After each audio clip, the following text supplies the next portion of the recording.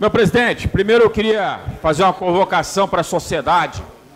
Infelizmente o sarampo voltou e está um, tá uma problemada em São Paulo, está chegando no Espírito Santo.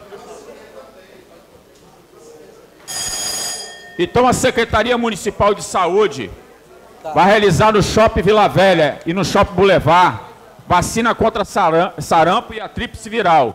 No dia 17, agora desse mês, das 10 horas às 21 horas. Então, eu convocar a sociedade para estar presente. Fala isso, meu presidente. É, ainda no tema da Comissão de Segurança, que eu e Mirim estamos mais atuantes, que às vezes a pessoa pensa que a segurança de, de Vila Velha... Mas Vossa Excelência está sabendo conduzir essa comissão, Vossa Excelência. Às vezes a, a, a, o, o, cidadão pensa que a segurança de Vila Velha está jogada ao léu. Ela pode não estar tá satisfatória, porque nós, nós nunca vamos atender a demanda no total da sociedade. E, infelizmente, igual, igual, por exemplo, o quarto batalhão. O quarto batalhão, que é para ter um efetivo de 700 homens, hoje ele está com 500, desses 500, 150 encostado para tratamento de saúde. Então, hoje, o efetivo do quarto batalhão é o mesmo efetivo da Guarda Municipal, em virtude de problemas. Então, falta concurso, falta resolver esse problema da saúde do policial. Mas, mostrando que essa casa, a Comissão de Segurança, está atuando e tentando minimizar, junto aos operadores de segurança, a situação de Vila Velha, nós tivemos ali primeiro, volta anterior, faz favor. Essa reunião foi feita aqui na, na sala de reunião, há uns 40 dias atrás, com as lideranças que são presidente dos conselhos de segurança do município de Vila Velha.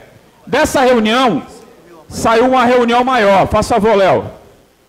Essa reunião aí, onde estavam presentes todos os comandantes dos operadores de segurança do município de Vila Velha. Estava o Major Mário, respondendo pelo 4 Batalhão, Major Walter, comandante da 13ª Companhia, o Coronel Emerick, secretário de Defesa Social, o Fábio Barcelo, responsável pelo vídeo monitoramento, vários subinspetores da Guarda Municipal e os conselhos interativos que representam as comunidades no município de Vila Velha.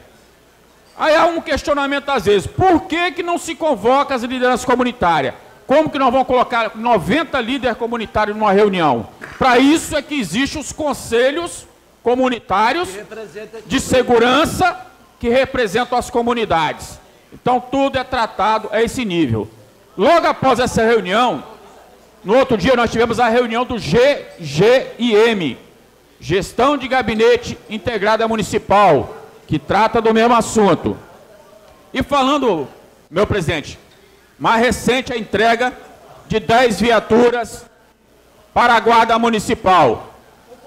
Então, para mostrar para os senhores, para os senhores, se foi 1.0, se foi uma carroça, feliz, para né? mim depende, claro. Anadel, se você vai atender a sociedade.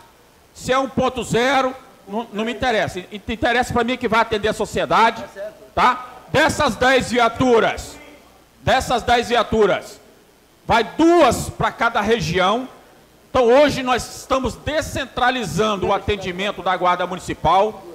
Vai duas viaturas dessa aí, uma viatura já existente com um comandante para estar tá respondendo pelaquela região. Então a região 5 vai receber duas viaturas dessa e uma outra anterior com um subinspetor para estar tá respondendo por lá. A região 2, a região 3, a mesma coisa. Então, meu presidente, a nossa comissão muito bem representando essa casa, está atuando aí junto ao meu vereador Mirim Montebelli, né? Temos feito um trabalho muito bom e tentando minimizar os problemas de segurança do município. Meu muito obrigado.